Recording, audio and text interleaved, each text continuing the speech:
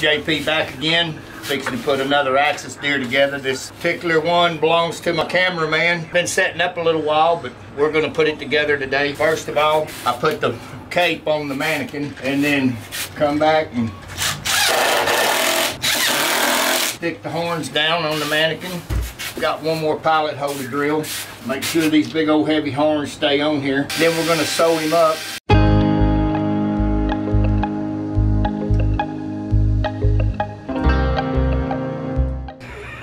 Set that in there and that eye looks right at you. You can't see the pupil, but I can.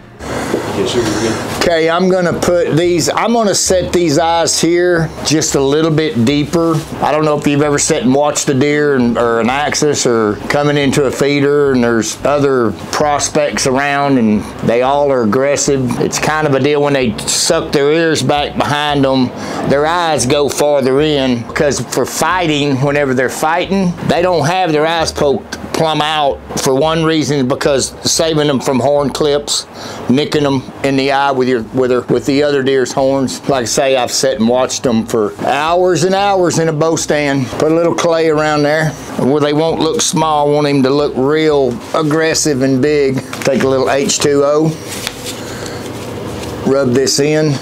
Get my little scoping tool here.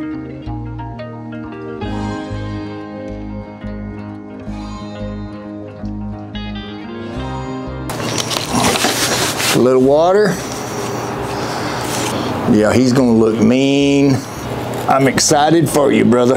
It's like Barry, the the axis over there that we did yesterday. Boy, he's so pumped. He said, is he ready? Can I come and get him? There he is right there, looking right at you. Look at them eyes, they look aggressive. I got him fat, sunk in like he's mad. When I get his ears and stuff set, I'll suck his ears back to where he'll be looking like a whitetail coming in to fight. As you see, I've got Bondo here that I I set the, the horns on the mannequin with Bondo and I just leave a little bit right here where my horn burrs are, where I can set my horn burr pedestals up, the skin, and it just shapes the back of the head like a crown. Then all the, in the front here, skin will go all the way up and we'll just shape it like the crown of his head. Just put a little, just a little bitty skim on top of that, that Bondo where it'll be slick. Right in here on these, right here at the bottom of this horn burr, take, just fill that in. You know, back in the old days, people used to use clay to put up here. There's been so many different techniques that people have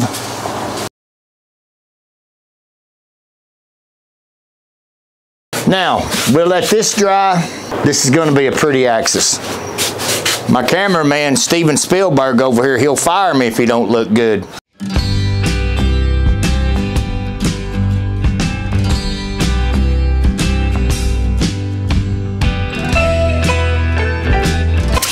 Getting back to the axis, I take clay and I put it right at the base of an axis deer pedestal. Just put a little bit around there like that and put some right here like so. Come around here, put me some right there. It's what this does is this holds the hair up around the horn pedestal and it doesn't let it drop. It doesn't let it sink in. It keeps it the width of your horn burr. That right there, it keeps it out where it travels. Whenever I bring him back alive, and it'll just, it goes right around that horn burr like that right there, and it stays up instead of sinking in. You can see how it does right there like that. We'll do the other side. Same way. Steven Spielberg's standing there watching me. He wants his axis deer. I don't blame him. Also, people, if you got an old set of horns and you do want him mounted, if he's an old deer, five or six years old, give me a call, 325-660-3217. I'll give you a cape for nothing. I charge $6.95 and I'll get you deer, maybe one that your kid, kid killed five or six years ago. Shoot me a text or give me a call and let me look at the horns and I can judge him by what size, uh, what size cape that I'll need for him. So we'll get, get him on. It's my passion.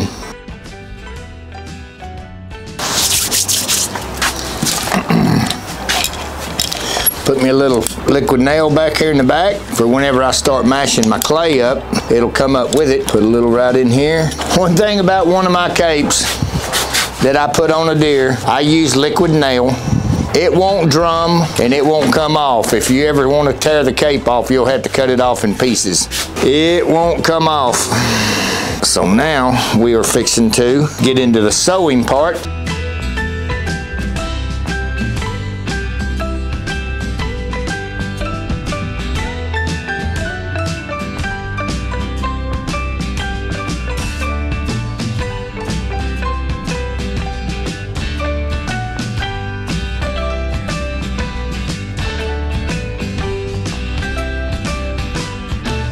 Sometime you'll run across a place that when you put the clay to your horn burrs, sometime it'll slip down with the glue and uh, I'll just take and put another little piece right in here, push it up close to that horn burr and I'll just shape it right in there to where it'll do that just like that. Time out for a hand wash.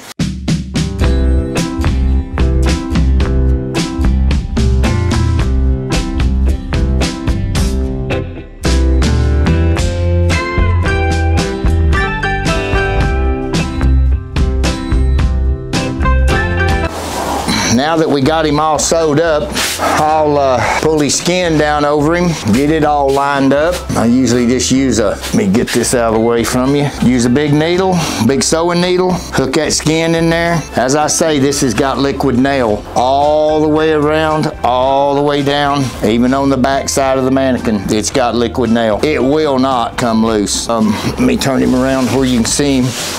Just keep on pulling this down. We about got her, we about got her home now. All right, let me see if we can find a staple gun here. We'll start with him. Sure gonna look nice though. I like to get all the rubbed out on him, get all the tone in him before I start stapling. So now we're ready to staple.